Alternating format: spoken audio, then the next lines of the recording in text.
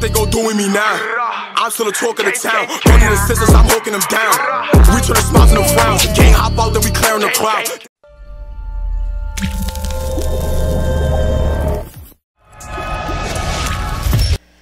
All right, hey guys, we're in a new episode of Talk of the Town. Today we got a special guest, Spike Tarantino.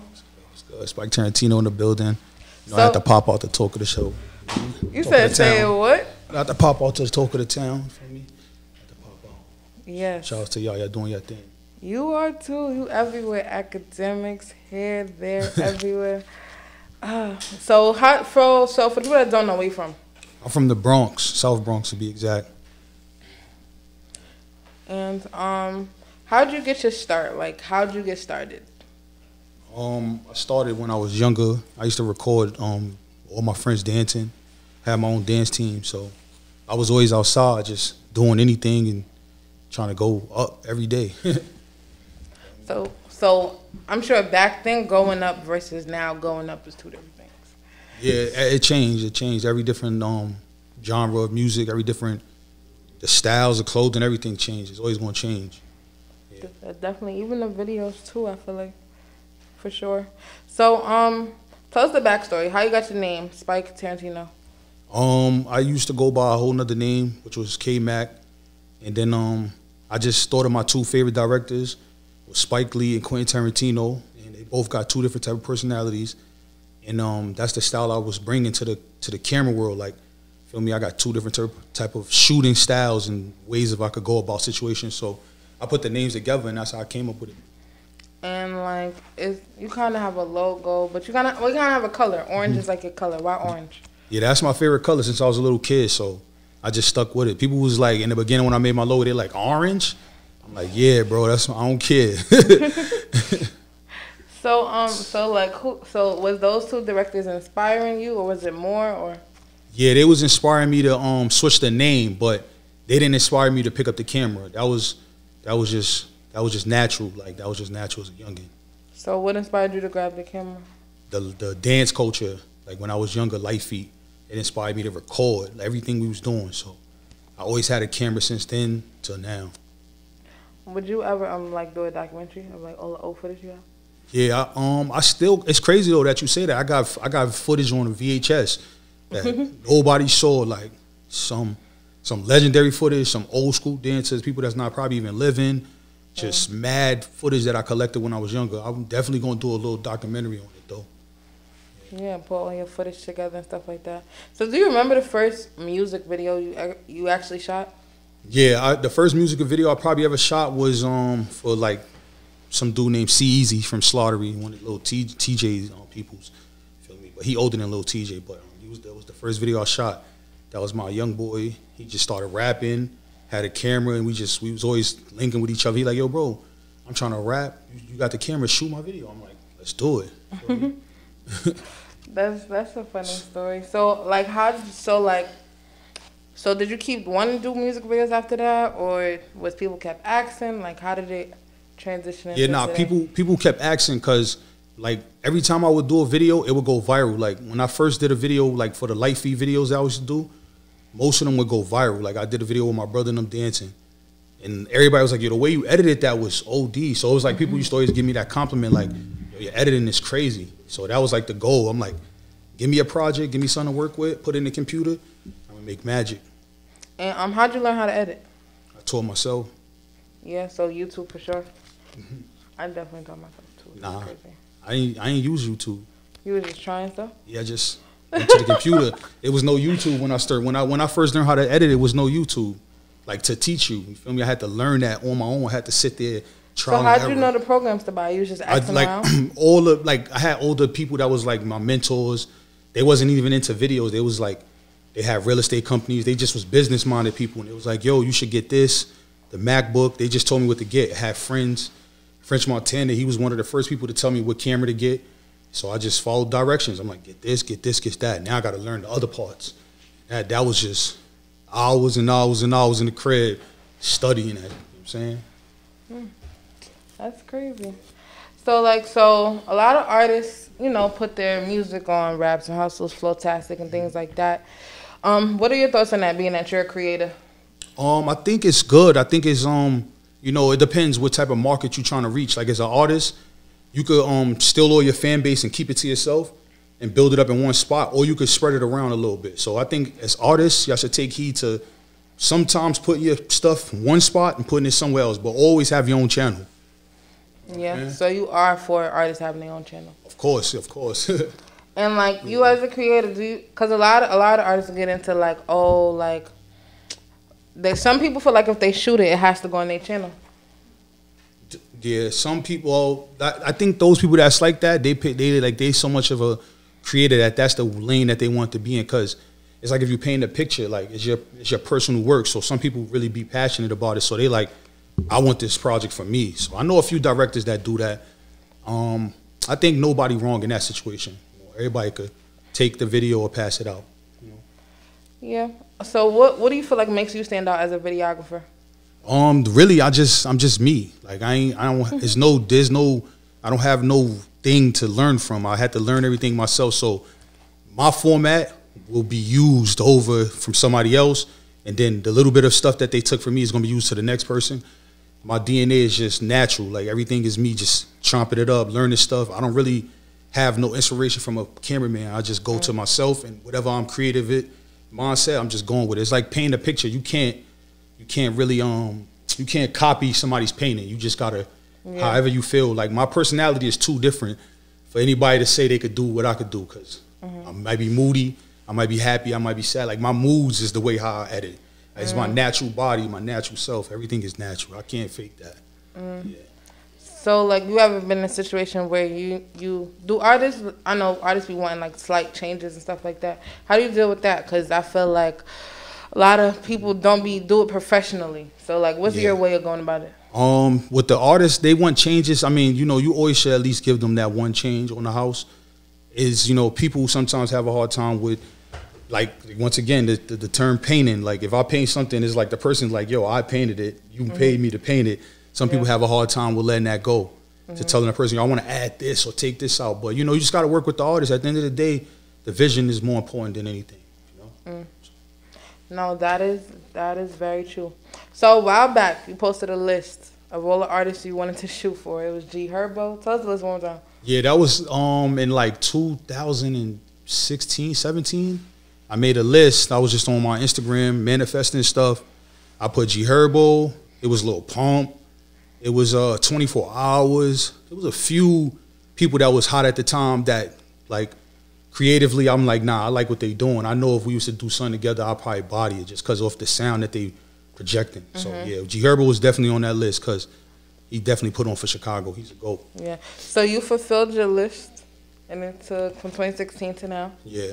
Did you make a new list yet, or you still? Nah. I didn't. The, I didn't really make the new list yet because um, I got other goals that I'm knocking off right now. So, like, the next list will come soon. Like whenever whoever I want to work with Mm-hmm. Like anybody could do whatever they want in this game. Like you just gotta manifest it. Like feel me? Like my boy just did a song with Kanye West. I grew up with him. Mm. So anything is possible. You feel me? You could just talk about it, think about it, and just put yourself in a position and it's gonna happen. So I don't know who's gonna be next or what other big project I'm gonna do, mm-hmm. but I know it's gonna be natural. It's gonna happen when, when time being. Definitely. So like so like some so like drill the working with drill artists can get you know crazy sometimes. Do you ever have have you ever ran into the situation where they're like, oh, we don't want to shoot because you shot for them or stuff like that, and how do you deal with that? Um, nah, not me. you never been in I that could, situation? I've been everywhere. Like I could go. I don't like when I before camera before like shooting for drill artists. I was already shooting for drill artists. Like right. I was doing We Mobbing DVD. It was the same mm-hmm. concept. It was before it was even people put it on wax. So I think I don't really. I, I could do any side. Like I'm cool. I'm mutual. You know?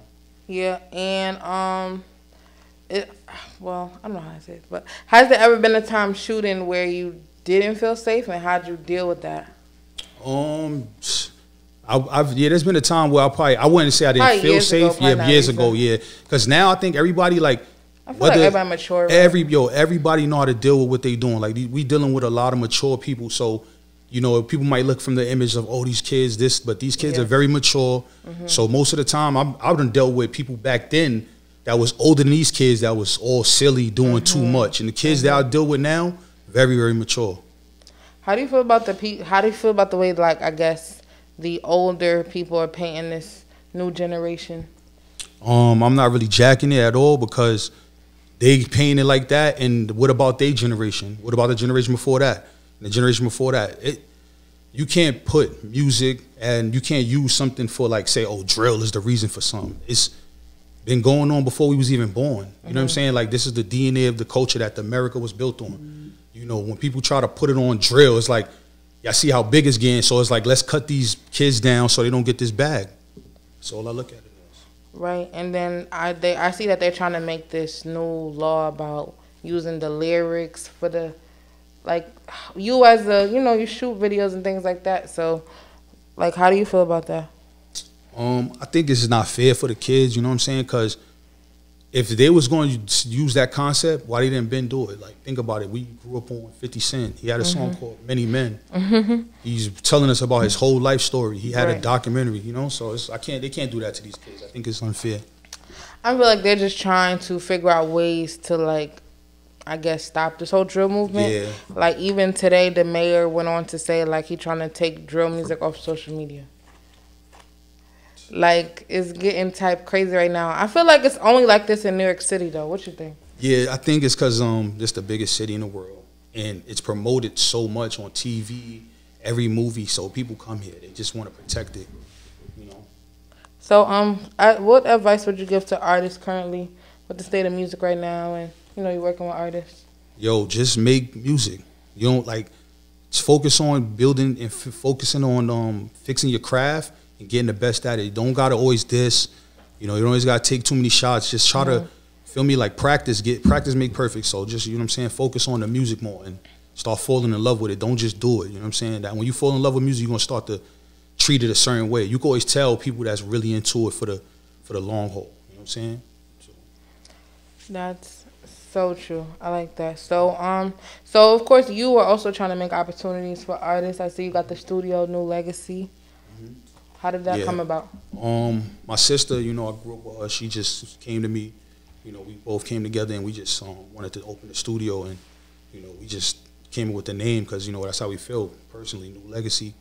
You know, we didn't come from nothing. We came from the mud, so we're trying to build a new legacy for our kids. You know, and then the kids that's out here doing what they doing for the with the music or the TikTok, we're just trying to help them build their legacy too. You know? That's dope. That's dope. So what? So what's the um? I would say the well, you kind of said trying to leave the legacy. I was gonna say what's what's the mission? When people go to New Legacy, what do you expect them to see, feel? Um, I want it to feel like you know it's just a home studio. Like I want them to feel like they just vibing. Sometimes I'm gonna try to be in there, you know, helping them with some songs. I've been a, I've been in the studio with all different type of artists, so I just want to, you know, give the knowledge that I got to the next person because you never know what could happen with them. And do you like what else is on your like bucket list? Studios officially open. Have anything else on your bucket list? New goals? Um, yeah, the, the one of the biggest things that I got to do is I have to um do a documentary on the Bronx. That's the biggest thing. It gotta, it has to happen, and it's going to happen. I got some people that's hit me up for it and all that that want to do it, and so they're gonna bring me to Netflix and stuff. So we're gonna make that happen. So so it's definitely in the works. yeah. So who who got to be in that documentary right now? Like, give me five people from Bronx back then, we Mobbing DVD days to now, right that's now. a good question. Um, Five people that has to like be in it so they can start hitting you. man, for that documentary, I'm I'm gonna have to have like I'm gonna have to have a few people in there, like different areas. I, to say, I'm gonna just say like I'm gonna have to have different like groups of people that separated. Like you know, everybody got their own little beef, but I'm gonna need Yeah. both sides. I'm gonna need both sides. Yeah. The beef got to be squashed for the for the documentary. I need everybody in there because.